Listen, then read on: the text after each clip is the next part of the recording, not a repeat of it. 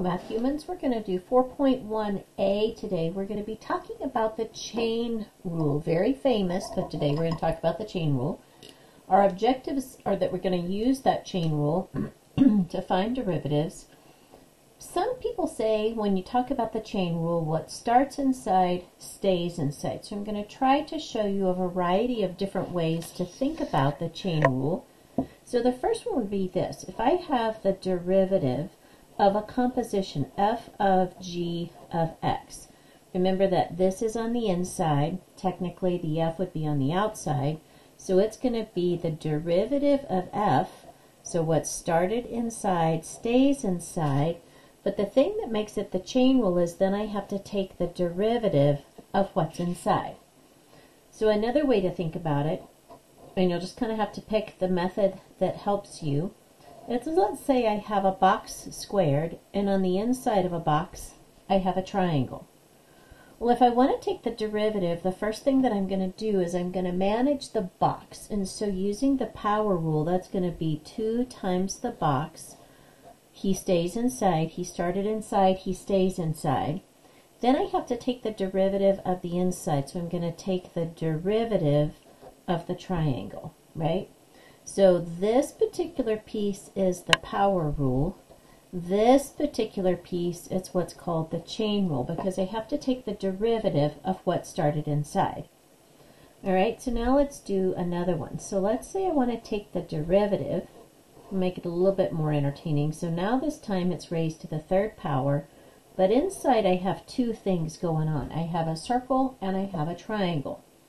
The first thing I'm going to manage is the outside rectangle. So this is going to be 3. Remember what starts inside stays inside. So those two guys are going to stay inside. He decreases by 1. Then I'm going to take the derivative of the circle. And then I'm going to take the derivative of the triangle. So I don't know if that's helpful, but some of my students have said in the past that that is helpful. So let's just jump in with a real example and kind of work our way through the chain rule. So for example number one, I'm going to be given y is equal to x squared plus 1 raised to the third. I don't want to expand this to the third power because the chain rule is easier. So I'm going to write dy dx is equal to that because that's what we want to find. So I do notice that it's the chain rule. So when I start my derivative, dy dx, I'm going to do what starts, I'm going to manage the power rule first. What started inside stays inside.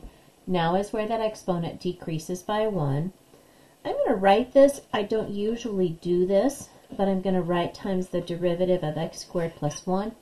So now I would do that math. This particular guy is done, quantity squared. Now when I take the derivative of the second piece, I'm going to get 2x. So when I do these, I typically, instead of writing this piece, would just jump straight into the derivative. But until you learn the chain rule, this might be a really good idea to help you to remember to take the derivative of the inside. So now I'm going to clean it up just a little bit, and I would say that my dy dx is going to equal that 3 times 2 is going to be 6x times that x squared plus 1 to the third, oops, my bad, to the second. And you don't have to expand this. This is sufficient because remember the general goal is we're going to get our derivative to a point where we can manage the math. All right, another way to think about the chain rule is to think about it from with respect to a composition. So let's say I had f of g of x and I wanted to rewrite this as f of g of x. Again, similar to what we've just done, and my pen's not very happy. That's kind of a bummer. So if I want to take the derivative, it's going to be the chain rule. So it's going to be f prime, what starts inside stays inside, times, now I have to take the derivative of the inside thing. So again, that's just another way. We've already done that, but kind of just depends on what makes your life easier. All right, let's move on to example number two. So for example two, man, all of my pens seem to be crabby today. So I'm going to have y is equal to the third root of x squared minus 1 quantity squared. And before I start doing any math, I'm actually going to rewrite this. So because this is the third root, I'm going to write this as x squared minus 1. Here's the squared raised to the 1 third. So now this is going to become x squared minus 1 raised to the 2 thirds because a power to a power is multiply. I want to find f prime of x. And I notice that this is the chain rule, so I'm just going to go ahead and get started. So for my derivative, the power comes out front. What starts inside stays inside. And then this is 2 thirds minus 3 thirds, because there's the minus 1, times the derivative of the inside, which is 2x. Alrighty, so now if I simplify this some more, I'm just going to leave this right here for right now. Oops, this is 2 thirds. Here's the 2 and the thirds, and I'm going to have x squared minus 1. 2 thirds minus 3 thirds is a negative 1 third times 2x. So now I'm going to clean that up a little bit. So in the numerator, I have 4x. In the denominator, I have 3 times x squared minus 1 to the 1 third. And then I'm going to write my answer. Remember, we always write a conclusion statement at the end, just like you do when you're writing because it makes it gives some finality to what you've done so that it may, lets your reader know that you are finished with your task. All right, let's move on to the next example. I'm going to keep changing pens, see if I can find one that's happy. So for example number three, we're going to do a little bit of trig. Woo, trig. So for example three, I'm going to have y is equal to sine cubed of 2x plus 7. So this is going to be technically what is my inside. And I'm going to rewrite this as the sine of 2x plus 7. And I'm going to write it to the third power because until you get used to this notation, which in theory you are from pre-calc, sometimes it's helpful to, for our brains to think about it this way.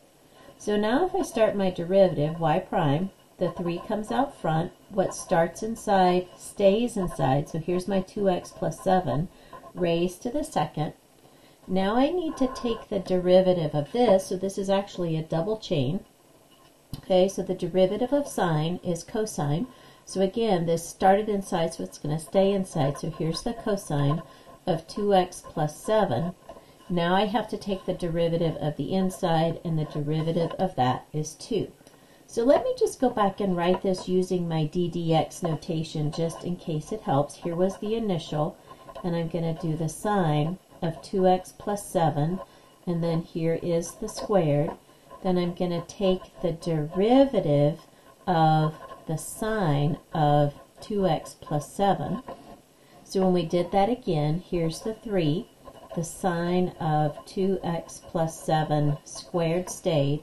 The derivative of this is cosine, so here's my cosine of 2x plus 7. Now I need to take the derivative of the inside again.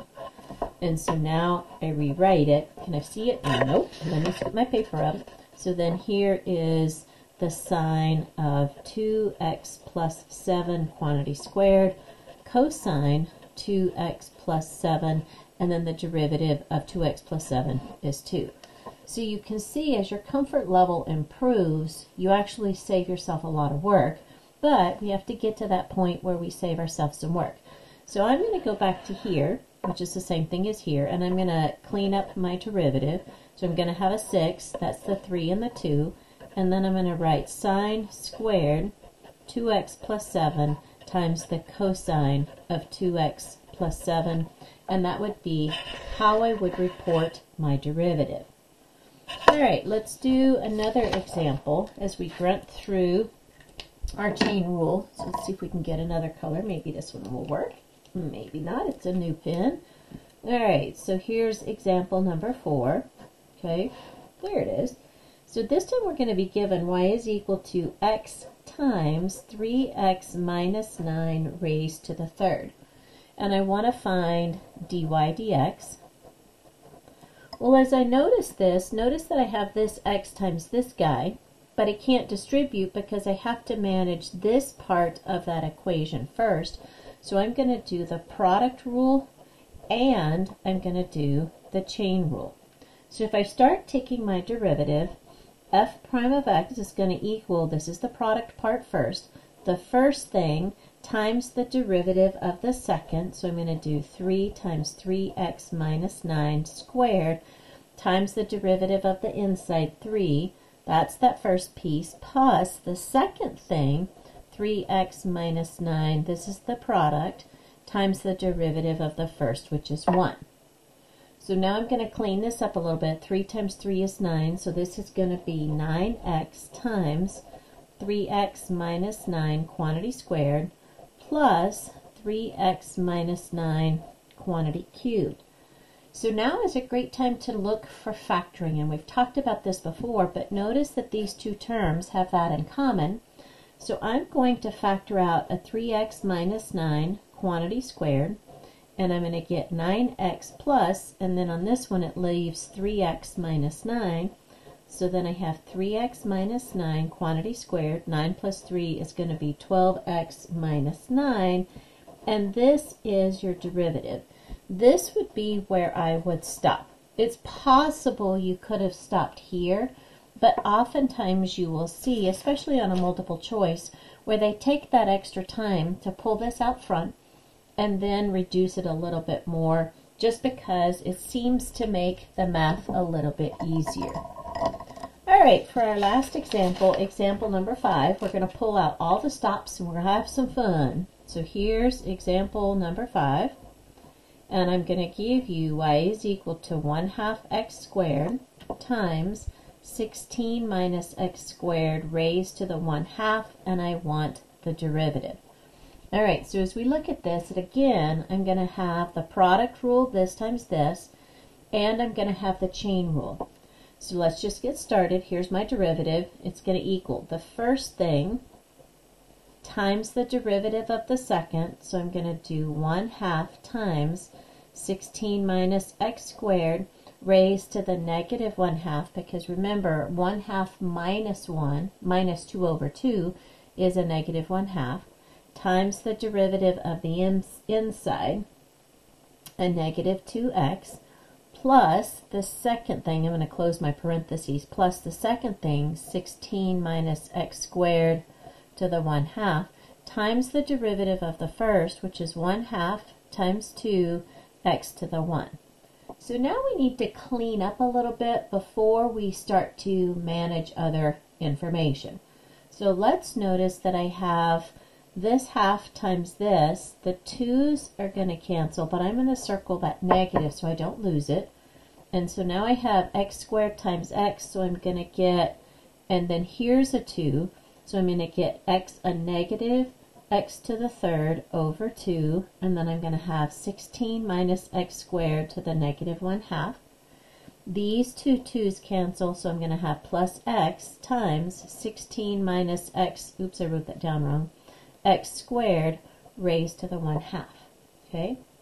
So now, to, before I try to simplify this a little bit, I'm going to take this guy to the bottom. So I have a negative x to the third over 2 times the square root of 16 minus x squared, and then plus x times the square root of 16 minus x squared. If you wanted to, depending on the problem, you could stop here. But let's say that's a P. Let's say you needed to go further because this answer didn't show up in the multiple choice. So what I'm going to do now is multiply by my lowest common denominator. So I'm going to multiply by 2 and then 16 minus x squared over 2 times 16 minus x squared. I'm going to put my little parentheses in there.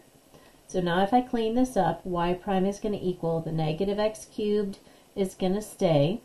Here's this x, and then when I have that 2, and then when these two guys get multiplied together, it's 16 minus x squared.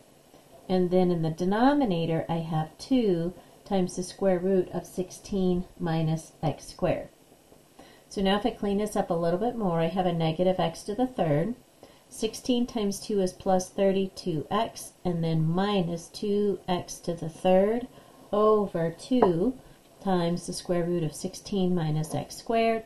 Combine like terms, this is our last step, and I have a negative 3x to the third plus 32x over 2 times the square root of 16 minus x squared. So again, sometimes you have to decide where you're going to stop. Initially we had talked about I could have stopped here. But if you were doing a multiple choice and that answer wasn't there, you would need to continue on to be able to get to this answer. They will give you the same result if you were trying to find slope or a rate of change, but depending on what you're doing, sometimes we do have to keep going forward. All right, my dears, that is it for today. How's that for some algebra? See you soon.